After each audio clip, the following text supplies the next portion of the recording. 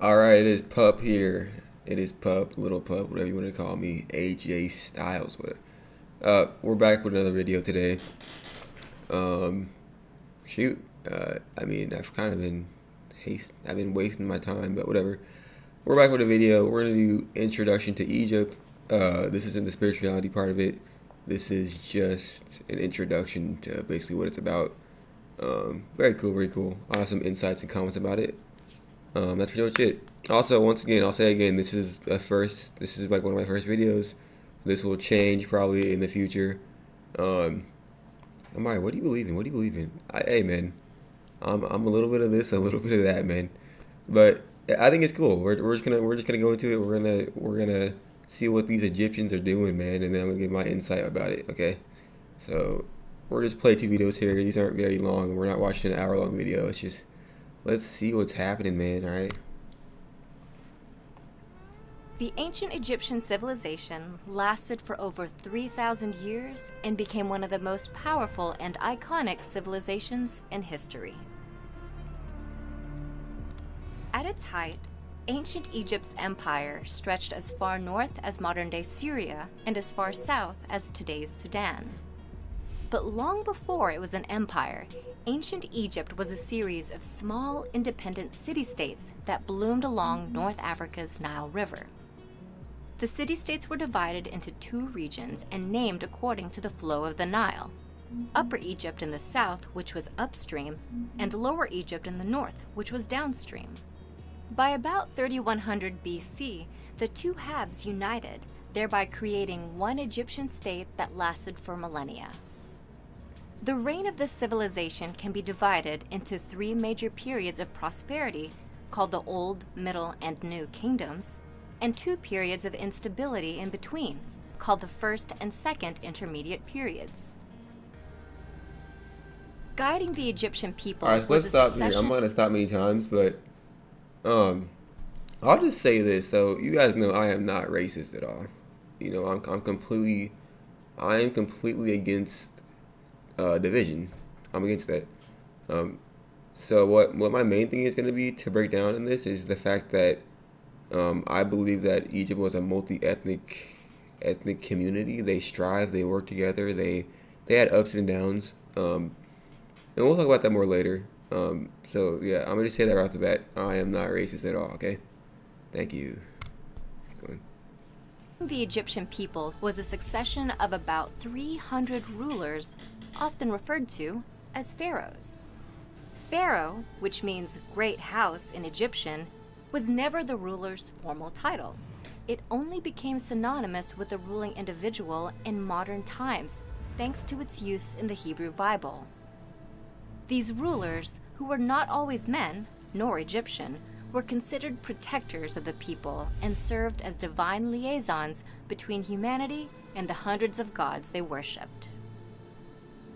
After the rulers passed away, ancient Egyptians believed they then became gods.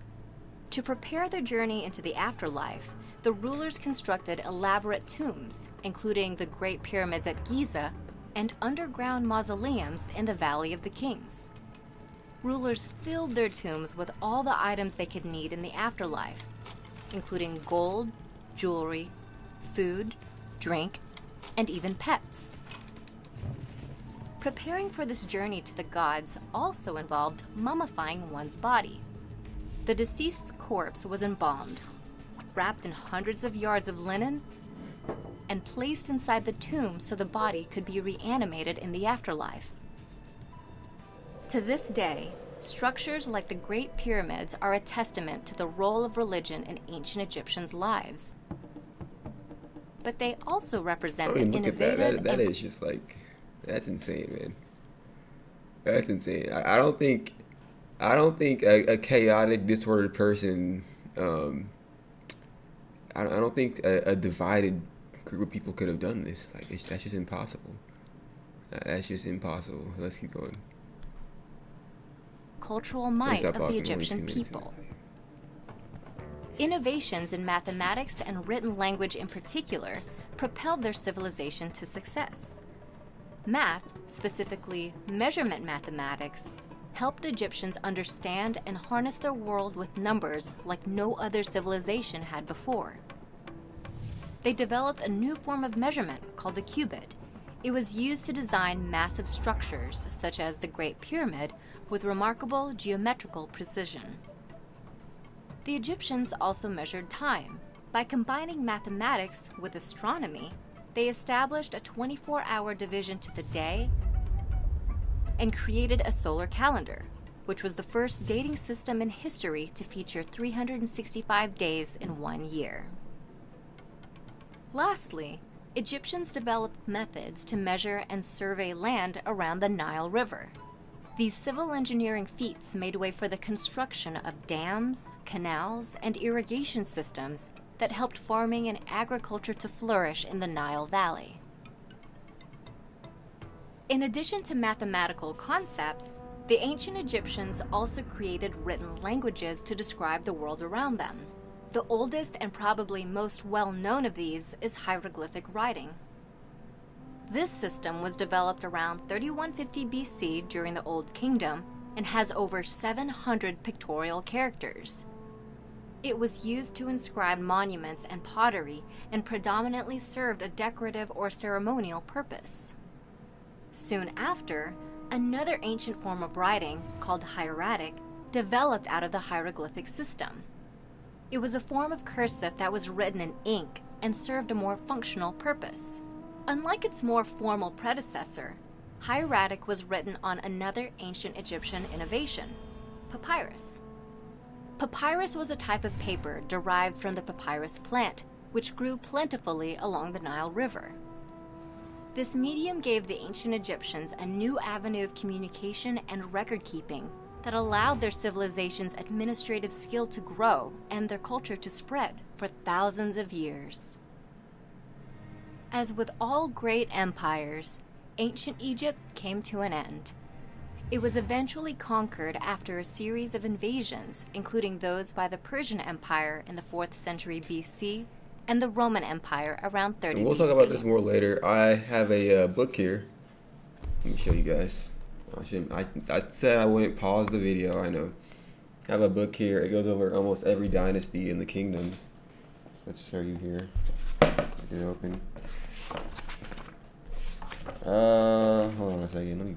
I don't want to waste time. Ah, one head. So we have every every period. So in this, it's it claims it to be not claims it.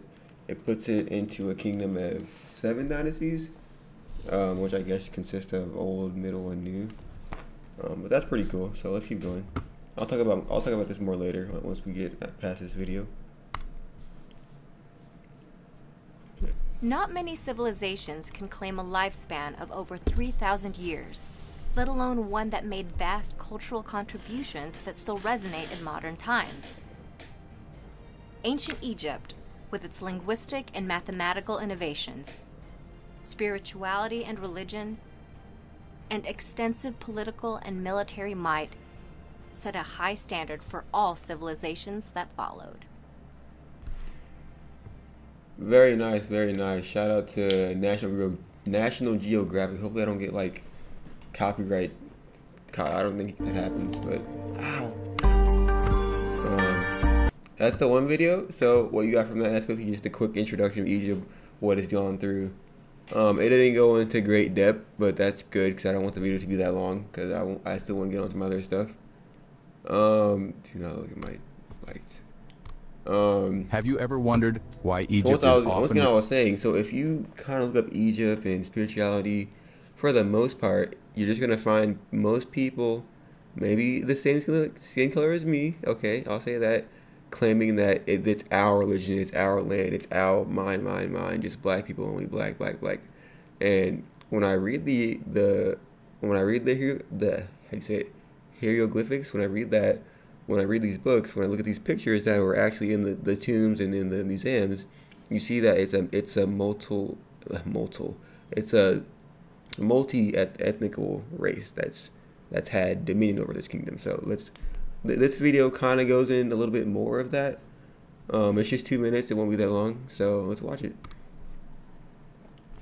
Have you ever wondered why Egypt is often referred to as a diverse society?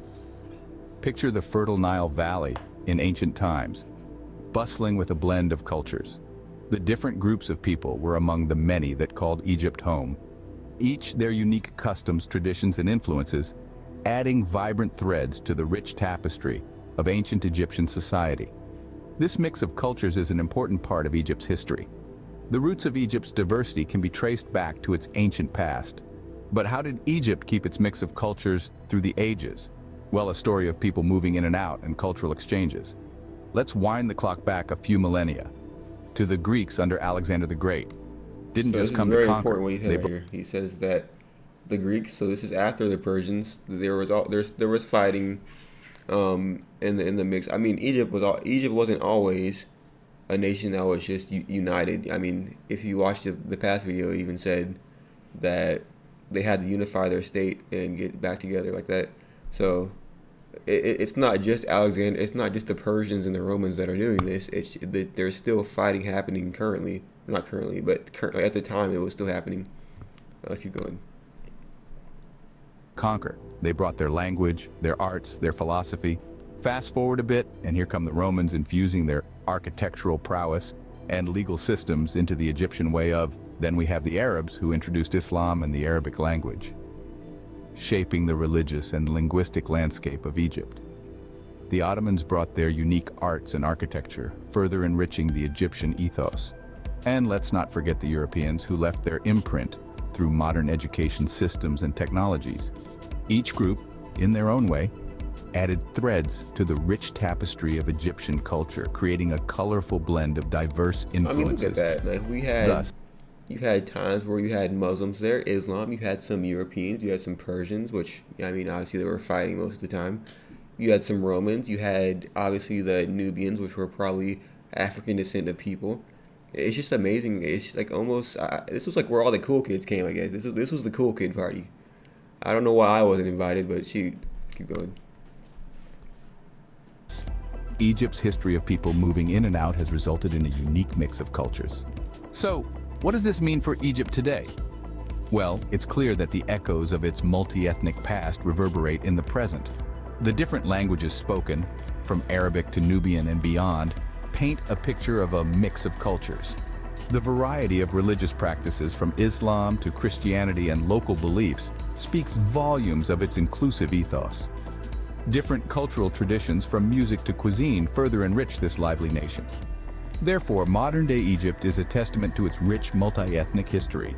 In conclusion, Egypt's diverse nature is not just a label, but a reflection of its rich and varied past. The many different groups of people culminate in today's Egypt.